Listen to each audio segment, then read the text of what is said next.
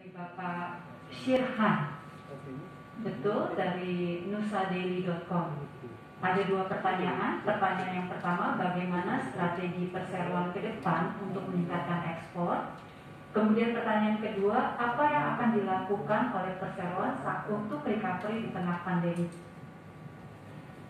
Okay, thank you for the question. Uh, let me welcome uh, all the stakeholders here today. Uh, it certainly says to me that there is a lot of interest in not only Bentoel, but also the industry in Indonesia. Okay, if I uh, take the first question, what's our strategy in view of the, the future of uh, Indonesia?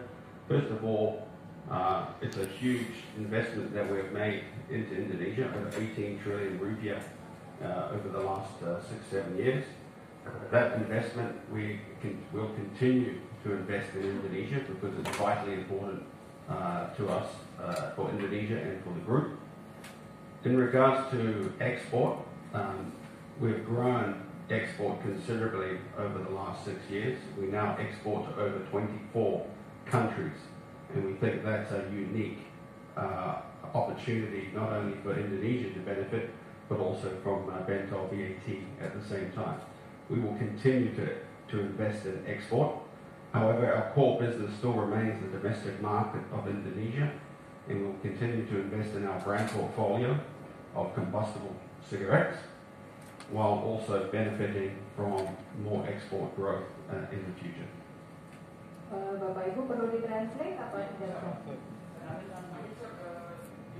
Is it still viable for uh, competing in the market, tobacco market here in Indonesia?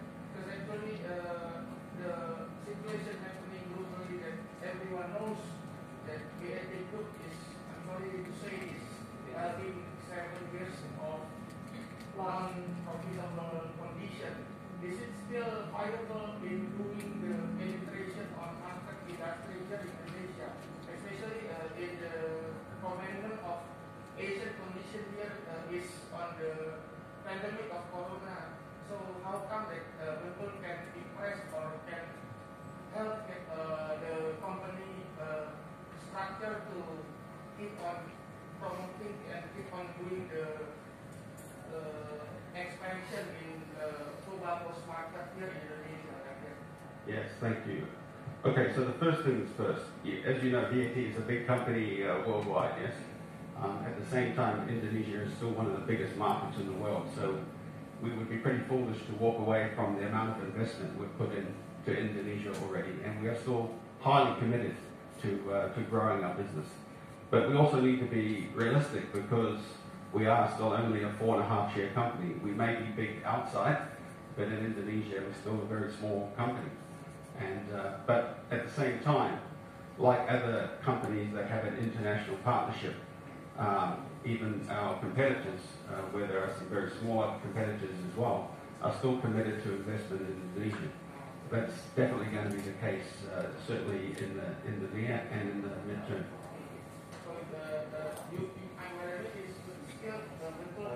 Positive, uh, uh, mind and positive uh, uh, demanding on how to keep uh, about maintaining the the highly uh, needs of market, uh, especially in Indonesia or any any what I, what I can call it uh, recommendation that is uh, can make the people uh, the British American tobacco can highly grow in the future like that. Yes, I any any any jobs or any demanding or any blueprint that can be adopted in the next few years. Ah, Apakah ada strateginya gitu ya? Oh, oke. But the, the, the strategy is still to continue to invest in growing the, our share of the combu- combustibles market. So certainly our share is, is suboptimal at the moment and we'll continue to invest for, for greater share growth. Obviously with greater share growth comes the, the, the potential for you to grow only your revenues and your profit in the longer term. And we think um, through good governance of uh, the industry, through the right excise regimes, the commercial viability of the market will always remain very attractive for companies like ourselves and others to invest in. So the commitment is certainly there.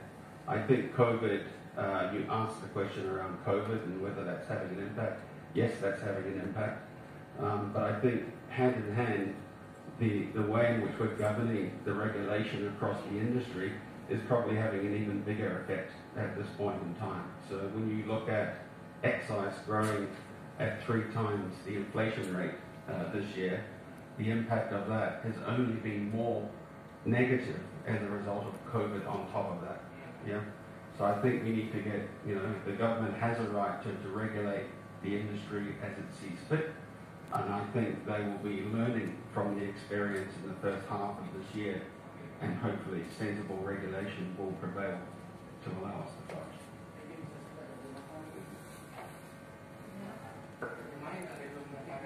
Diterjemahkan semuanya. Waduh, panjang ya. Yang pertama yang mengenai COVID tadi. Yang mengenai mana Pak? Covid. Pertama ya, So he.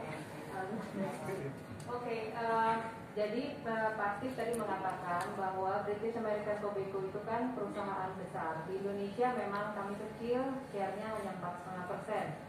Ya, tetapi uh, komitmen dari BHT Group itu tetap uh, tinggi untuk berinvestasi di Indonesia. Mengapa? Karena market Indonesia juga besar. Ya, dan kami juga telah berinvestasi sekian banyaknya 18,3 triliun di Indonesia. Sehingga kalau kami walk away dari uh, investasi di Indonesia itu sesuatu yang tidak tidak tidak smart ya. Jadi oleh karena itu uh, kalau kita bicara komitmen, komitmen BHT Group tetap tinggi.